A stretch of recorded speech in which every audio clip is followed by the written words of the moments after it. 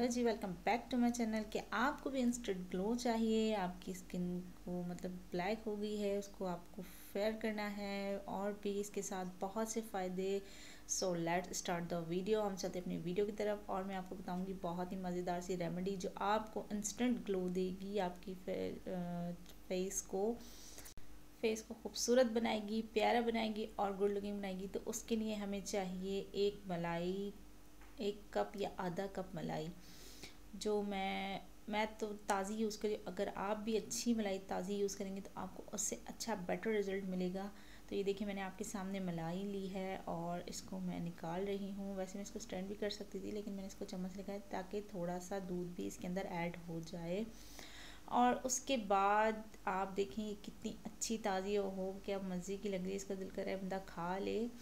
चलिए जी, फ़िलहाल तो हम रेमेडी बनाने लगे हैं तो हम रेमेडी की तरफ़ चलते हैं। उसके बाद हमें सेकंड इंग्रेडिएंट जो चाहिए होगा, वो होगा हमारा बेसन। बेसन हमें इसमें ऐड करना है।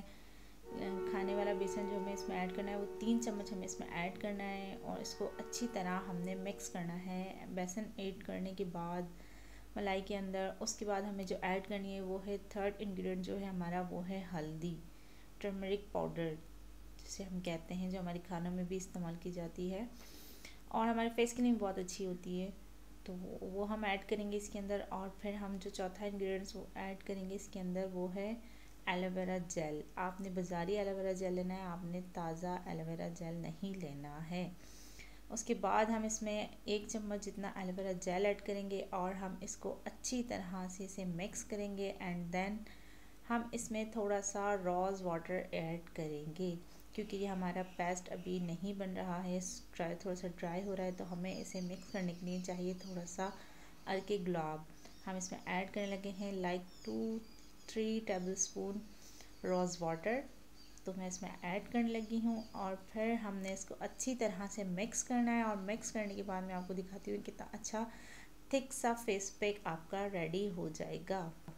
ओके जी तो आपके सामने मैं इसको अच्छी तरह से मिक्स कर लेती हूँ और फिर आपको दिखाती हूँ कि ये बहुत ही अच्छा सा फेस पैक रेडी हो जाएगा। आप अपने फेस पर अप्लाई करें, आपकी फेस पे ग्लोइंग करेगा, आपकी जो एक्नी वगैरह है उसको ये ख़त्म कर देगा अच्छा निखार लेकर आएगा कलर फेयर करेगा और भी बहुत से बेनिफिट्स आपको इससे मिलेंगे। आपकी स्किन को सॉफ्ट एंड शाइनी बनाएगा।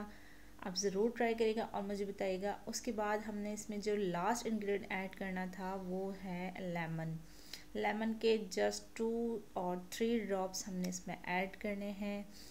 आप चाहें तो ना भी ऐड करें, ये ऑप्शनल है। वैसे मैंने ऐड किया है क्योंकि मुझे सूट करता है लेमन और मेरी स्किन बहुत अच्छी हो जाती है ऐसे ऐसे मैंने ऐड किया है। तो अब आपने ये सारे इंग्रेडिएंट्स को मिक्स करना है, बहुत अच्छे से मिक्स करने के बाद आपने इसको अपने फेस पर अप्लाई करना है। फेस पर अप्लाई करने के बाद आपने इसको थोड़ी देर छोड़ देना है। जब तक ये ड्राई हो ड्राई होने के बाद आपने इसको हल्का हल्का पानी लेना है।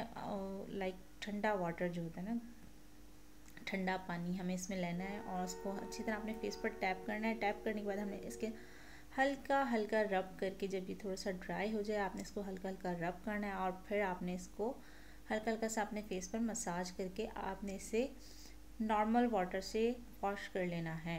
वॉश करने के बाद आपकी स्किन बहुत अच्छी नज़र आएगी तो आपको मेरी वीडियो कैसी लगी है प्लीज़ लाइक करिएगा सब्सक्राइब करिएगा और कमेंट ज़रूर करिएगा।